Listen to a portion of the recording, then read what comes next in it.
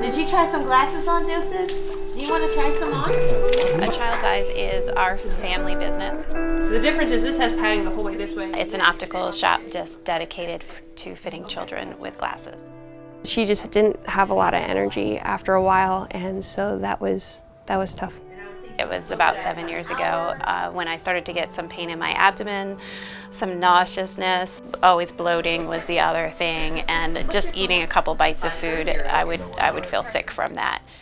I saw a gastroenterologist for the first time in 2012 and he did an upper endoscopy and found that I still had food in my stomach after fasting for 12 hours and then he was suspicious of gastroparesis.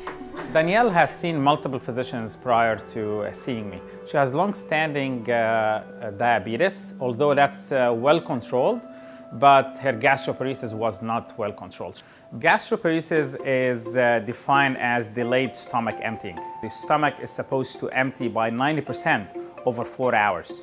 So if the stomach empties slower than that, then that's definition of gastroparesis. With these patients, first you want to try medical therapy and diet modification. She already tried a gastroparesis diet, basically eating low fiber, low residue, small but more frequent meals and she was placed on medications that help move the stomach. Despite all of this, she continued to have daily uh, severe symptoms.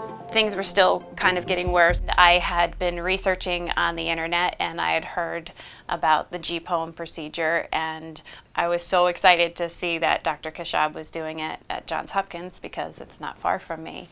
And it just made sense to me. GPOEM stands for gastric peroral endoscopic myotomy. So gastric is the stomach, peroral means we're going through the mouth, using the scope and doing a myotomy or cutting the muscle. The pylorus is basically a muscular ring that opens up to help the stomach empty. In these patients, this ring is tight, so if we cut it, that facilitates emptying of the stomach, and that's basically what we do during GPOEM. Danielle had uh, a successful procedure. Uh, she was admitted to the hospital overnight for observation, as it is routine after these procedures. And the next day, she started eating soft diet. And 10 days after that, we asked her to advance her diet, and she has been tolerating a full normal diet since then. I, I, don't have the symptoms anymore. I don't have the pain anymore. I actually am hungry, which is another thing, which is weird to say. And my family will be like, what, you're hungry? Like, you never say that. I knew she was feeling better because she went and we were going up to an escalator and she went and she jumped on the escalator and she hadn't jumped or done anything quickly for like years.